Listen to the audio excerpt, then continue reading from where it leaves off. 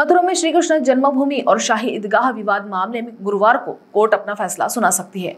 Court इस विवाद में वकील हरिशंकर जैन, विष्णु जैन और रंजना अग्निहोत्री के वाद पर अपना फैसला सुना सकती है।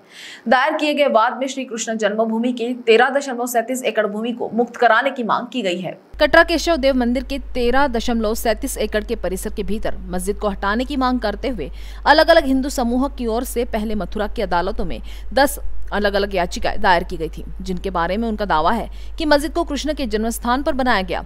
मथुरा कोर्ट में दायर याचिका में कहा गया है कि अधिकांश हिंदू समुदाय का मानना है कि भगवान कृष्ण का जन्म उसी स्थान पर हुआ था जहाँ मस्जिद है। गुरुवार को इस मामले में मथुरा की कोर्ट में फैसला सुनाया जा सकता है। वही पिछली सुनवाई के बाद इस मामले में कोर्ट ने फैसला सुरक्षित रखा था। ऐसे में गुरुवार को कोर्ट ये फैसला सुना सकती है कि वाद स्वीकार होगा या नहीं। बता दें कि मथुरा के सिविल जज सीनियर डिवीज़न के यहाँ अर्जी आई थी, जिसमें मांग की गई है कि मथुरा की शाही ईदगाह मस्जिद में मूल गर्भगृह को सील किया जाए। जिस जगह पर आने जाने पर रोक है, उसकी उचित सुरक्षा व्यवस्था हो। प्राचीन हिंदू धार्मिक चिन्हों और कलाकृतियों को नष्ट होने से बचाया जाए।